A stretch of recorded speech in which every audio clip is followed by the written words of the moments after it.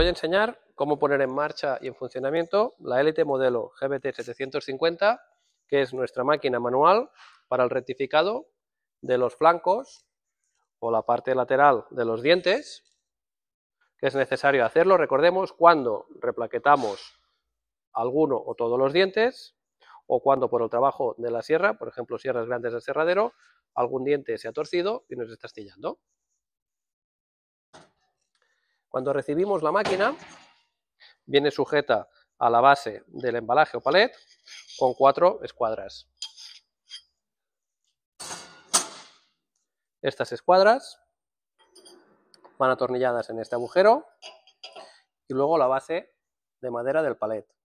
Debemos quitarlas, desatornillarlas, las cuatro, y luego podemos, o bien con una carretilla elevadora, manual o automática, sujetarla por esta base que está preparada para tal fin, o bien, si queremos hacerlo con cintas o eslingas, tenemos en cada lado de la máquina estos agujeros para colocar un cáncamo métrico 12 y poderla elevar. Dos en este lado, dos en el otro lado. Una vez tenemos ya la máquina en su emplazamiento, debemos conectarla al voltaje indicado. Para ello debemos mirar o bien en la placa de la máquina o en el pedido a qué voltaje hemos pedido la máquina. En este caso, esta máquina no necesita de aire comprimido. En el caso que hayamos pedido la máquina con equipo de refrigeración, debemos llenar también la refrigeración con agua lo más blanda posible, osmotizada o destilada, y el refrigerante al nivel adecuado, con la proporción adecuada. Luego, para el funcionamiento de la máquina, tenemos aquí el sistema de portasierras, para la colocación de las sierras. Este se mueve mediante esta palanca y podemos fijarlo con esta otra palanca. En el caso que la palanca en la posición que haya quedado nos moleste para el disco, una vez está apretada, la levantamos y la podemos mover a la posición que queremos. Y ahora la palanca me queda rígida y fijada.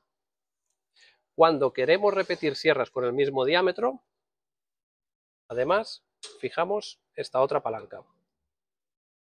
Esto nos permite que cuando yo aflojo esta palanca, siempre tengo este tope que me da la misma medida.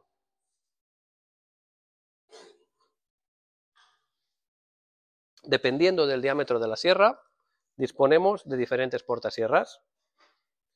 Aquí tenemos el portasierras para incisores, que colocado en esta posición nos da para hacer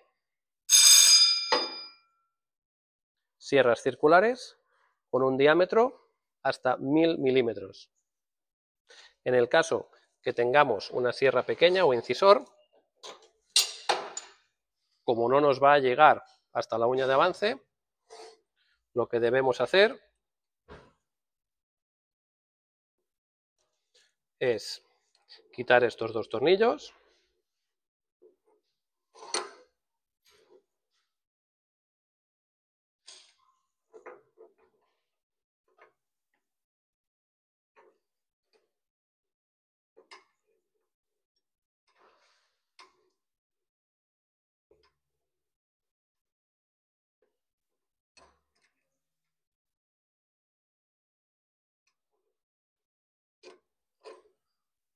y los colocamos ahora en la otra posición.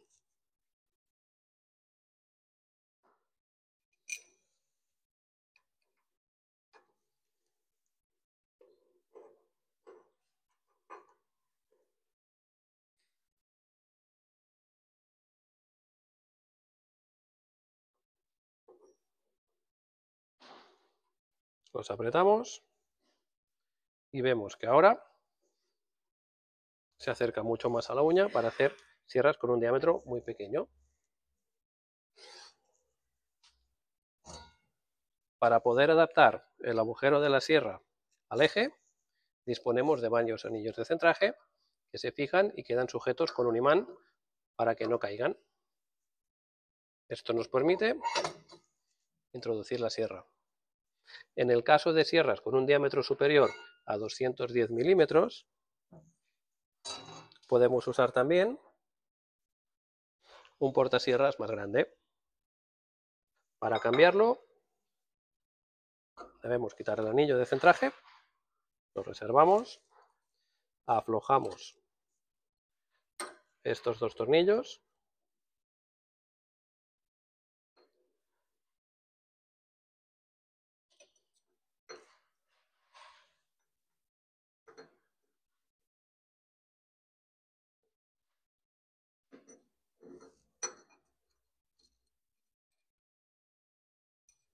Lo reservamos, guardamos el portasierras para incisores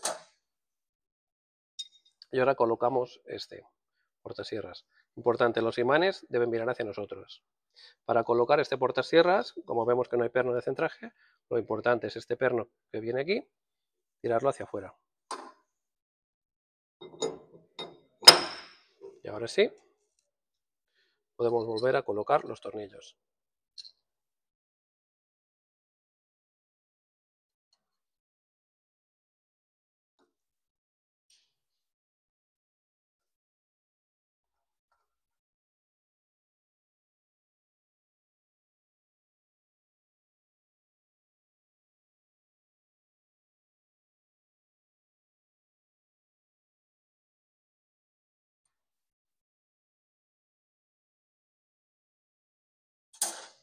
Vemos ahora que el perno nos ha quedado fijado y ya podemos colocar el anillo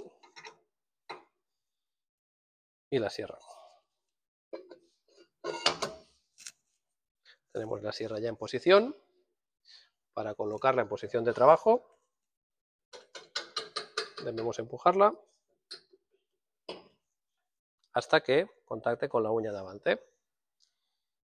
Una vez tenemos ya la posición, podemos indexar el diente, el indexado es manual. Cuando la tenemos en posición, importante, fijar esta maneta para que el diámetro de la sierra quede siempre el mismo, no se me mueva. Y presionar la mordaza. Ahora la sierra ya no se me mueve. Acto seguido, tenemos aquí el motor de la muela, que nos permite hacer un lado de la sierra, luego cambiarlo y hacer el otro. Primeramente vamos a montar la muela. Quitamos estos dos tornillos.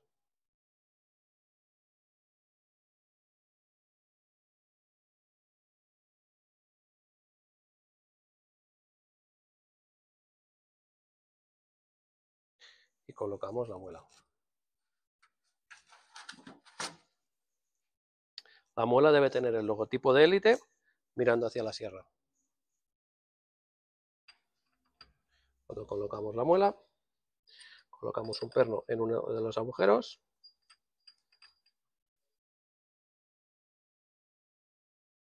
Y ahora el otro.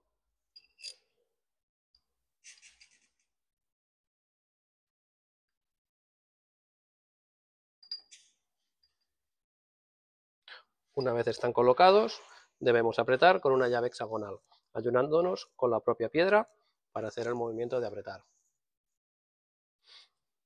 Ahora hemos observado que hay cuatro agujeros siempre.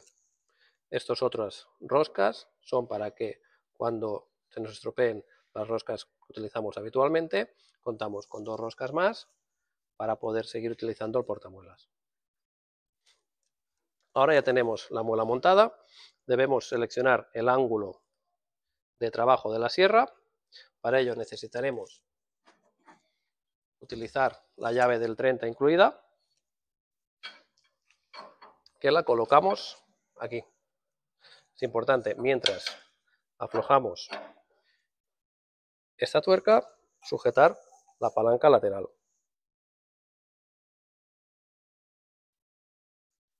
Ahora aflojo y veo que puedo seleccionar el ángulo. para conocer el ángulo que yo quiero, utilizo el medidor digital incluido. Lo encendemos, lo colocamos en posición y nos dice en todo momento el ángulo de trabajo. Si por ejemplo quiero 10 grados, aflojo, posiciono en 10,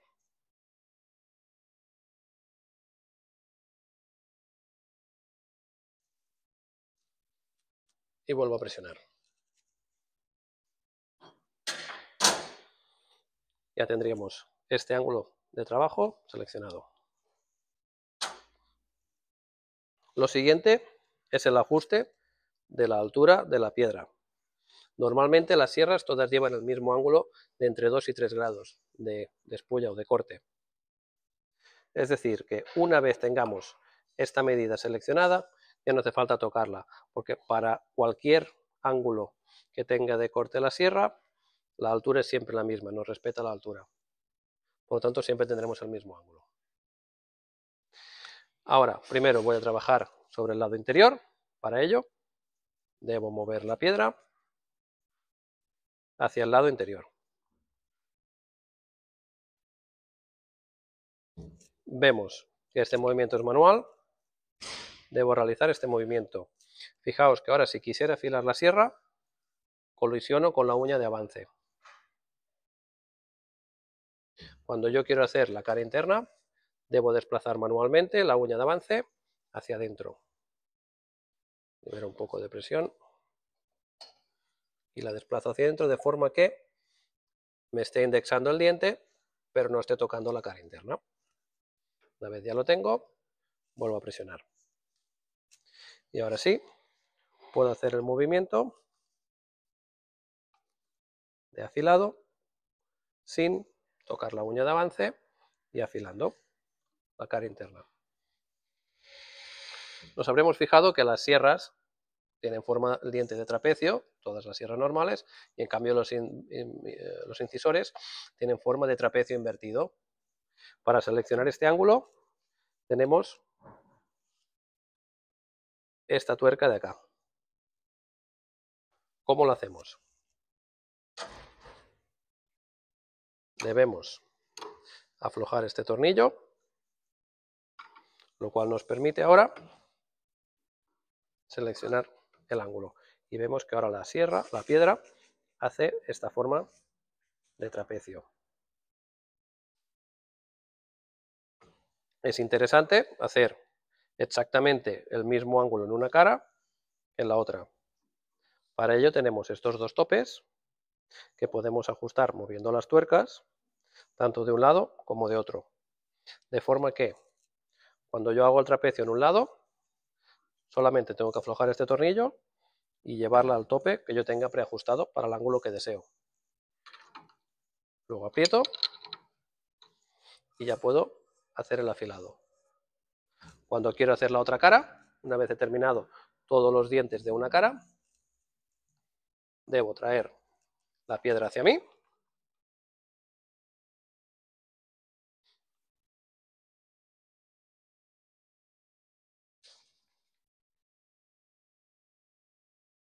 La uña. Ahora la pongo de forma que no sobresalga por esta cara. La pongo un poco hacia adentro y vuelvo a presionar. Si hace falta, indexaría el diente y fijaría la sierra. Vemos que la uña de avance no sobresale del diente. Pero ahora la forma de trapecio que tengo no estaría bien. Por lo tanto, repito la operación. Aflojo esta tuerca, muevo hacia el otro lado donde tengo el tope que yo ya habré seleccionado la medida que yo quiero y vuelvo a apretar. De esta forma, la piedra ahora me está haciendo el otro ángulo trapecio.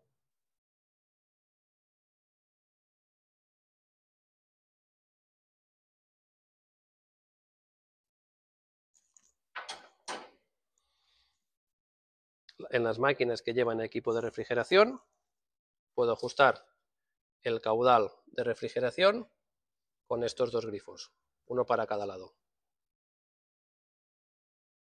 El panel del control es muy simple. Un botón para encender la refrigeración, otro botón para la luz y el tercer botón para la piedra de afilado.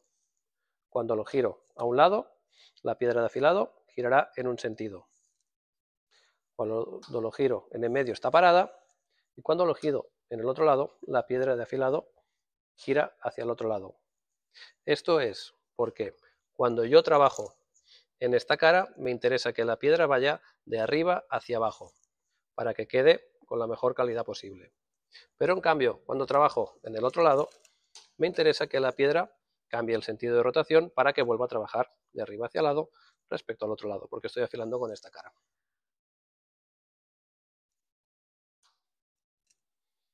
Y ya con estas sencillas instrucciones podremos manejar nuestra máquina modelo GBT 750.